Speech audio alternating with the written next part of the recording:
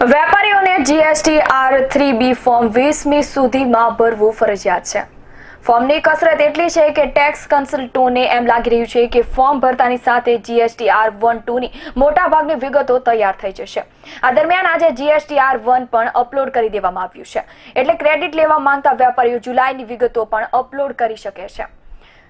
Three B ભરતાની સાથે વેપારીઓએ tax ભરી દેવાનો રહેશે. એટલે જીએસટી લાગુ થયાના દોઢ મહિનામાં સરકાર પાસે જુલાઈ મહિનાનો ટેક્સ આવી જશે.